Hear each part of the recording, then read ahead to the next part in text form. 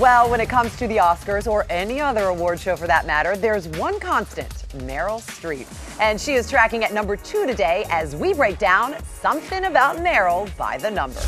Meryl Streep. It's her 20th Oscar nomination, with Meryl posting a video doing a happy dance this morning after learning her performance in Florence Foster Jenkins hit a golden high note.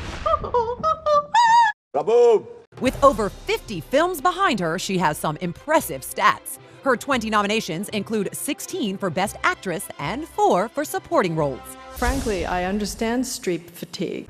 Surprisingly, Meryl actually prefers experiencing the Academy Awards just like the rest of us. More than sort of being trussed up and dressed up, I like being at home and watching it on TV. At 67 years of age, she has had three Oscar wins for Kramer versus Kramer, Sophie's Choice, and most recently, The Iron Lady. When they called my name, I had this feeling I could hear half of America going, oh no.